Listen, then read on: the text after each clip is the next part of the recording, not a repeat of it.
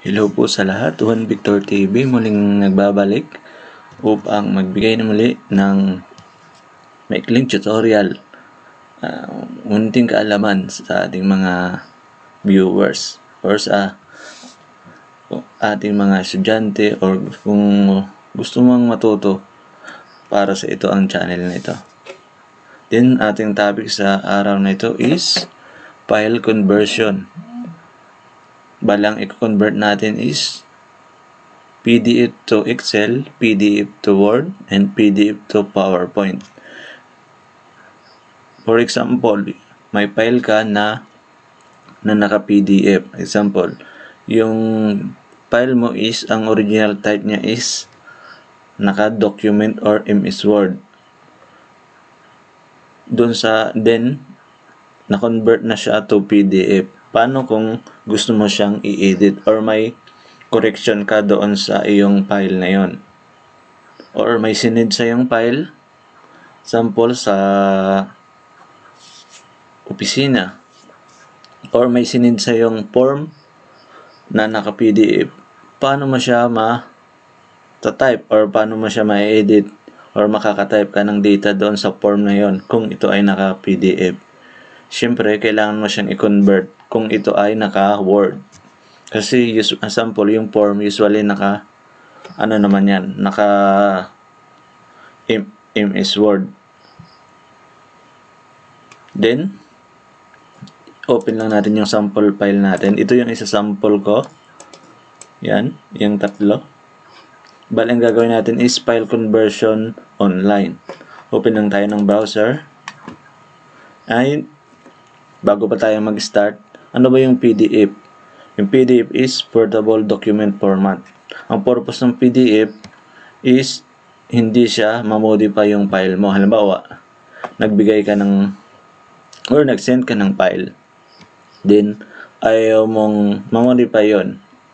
Then, kung ibalik man sa'yo yung file, hindi siya ma hindi siya na-edit pa rin or hindi siya na-edit nung pinagbigyan mo or sinindan mo. Yun yung purpose ng PDF para hindi siya ma-modify or ma-edit. Then, proceed na tayo. Open lang tayo ng browser. Type lang natin sa Google yan. Ito. I love PDF. Yan. Yung pinakaunang site, itong www.ilovepdf.com. Click mo lang. Then, nakita nyo. Bali, ang gagawin natin is PDF to Word, ito. PDF to PowerPoint, and PDF to Excel. Then, unahan natin is PDF to Word. Click mo lang. Then, kung paglagay ng file, oh, select file, pwedeng click.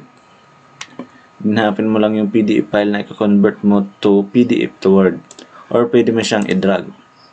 Halimbawa, PDF to Word click, drag mo lang yung file mo, then drop. Yan, wait mo lang.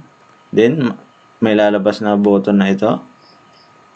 Sa file conversion pala, hindi lang siya, halimbawa, isang first document mo, halimbawa, yung limang naka-PDF mo is yung original file niya is MS, MS Word. Pwede ba siyang isabay ng ito, pwede mo siyang isabay ng convert, hindi lang pa isa-isa gamit itong site na ito, itong ilovepdf.com.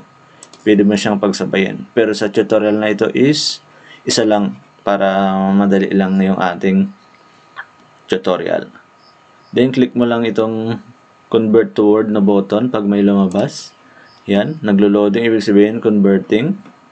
Sa converting pala, depende sa size ng file mo or sa kung ilang page. Kung medyo malaki-laki ang size, siyempre medyo may ilang minutong i-convert or ipaprocess yon. Ayan, ay, itong sa akin is, sample is, isang page lang yan na may dal tatlong sentence yata. Kaya mabilis lang, seconds lang. Then, click yan. After ma-convert, may lalabas na download. Click mo lang itong download board. Ito, makikita nyo, automatic siya nag-download. Click lang natin. Yan. na-convert na yung file natin na to PDF to Word or MS Word. Yan. Pwede mo na siyang ma-edit yung file. Hindi tulad kanina na, ito, open lang natin, na hindi mo siya pwedeng ma-modify. Using itong site na ito or using conversion method, ma-edit mo na yung file mo sa MS Word or kung Excel or PowerPoint man yan. Then next tayo, close lang natin. Then home lang tayo. Click, click lang tayo sa home. Then, next natin is PDF to PowerPoint. Click lang natin. Then, ito. Itong file natin is ito. Yan. Naka-PowerPoint. Drag lang natin yung file. Oh. Drag lang natin. Then, convert to PPTX or PowerPoint. Yung PPTX is extension niya ng PowerPoint. Basta pag sa document, malalaman nyo agad kung anong file type yun base sa kanyang extension. Sa, ano ba, sa sa Word, ang file extension niya is .doc or .doc. Yung, yun yung common. Then sa Excel, ang file extension naman niya is XLSX. Yan. Then sa PowerPoint is PPTX. Yan, na-convert na natin yung PDF to PowerPoint. Click lang natin kung talagang na-convert. Yan. Mapansin nyo, na-convert na yung ating file. Pwede na siya ating ma-edit yung ating PowerPoint. Or kung halimbawa, nag-attend kayo ng webinar na nag-send sa inyo ng PowerPoint presentation. Then, may ilang part doon sa PowerPoint presentation na nago, na kailangan mo kung ikaw ay magre-report or kailangan mong magre-echo sa iyong halawa sa opisina. Pwede mo siyang ma-edit kung ito ay na-convert na to PowerPoint. Gamit lang itong site na ito. Itong PDF to PowerPoint conversion. Balik lang tayo ulit sa home. Then, next natin is PDF to Excel. Then, select lang natin ulit yung ating Excel file. Then, drag lang. Then, drop. Then, convert. Then, download. Yan. Click lang natin. Yan. Nada-convert na yung ating Excel file. Pwede mo na siyang ma-edit.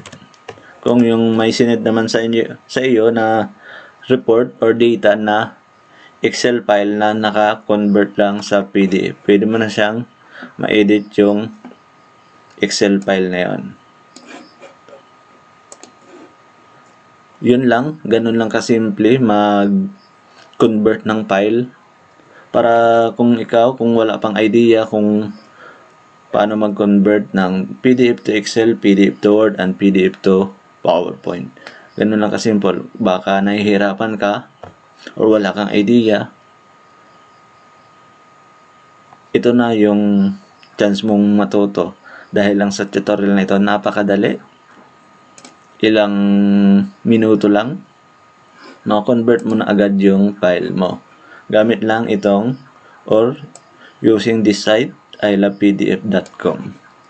Online po ito, kaya kailangan mo din ng internet Pero ito ay tested and proven kasi nagagamit ko din to pag talagang emergency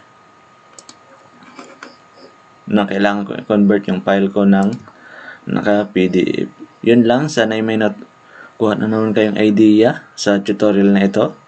Maraming salamat kung ikaw ay nanonood or nanood ng aking mga previous video tutorial. Yun lang, at uh, abang-abang lang sa ating mga bago pang at mga parating na tutorial na i-upload natin. Huwag kalimutan mag-like, mag-share, mag-subscribe. Yun lang at keep safe everyone.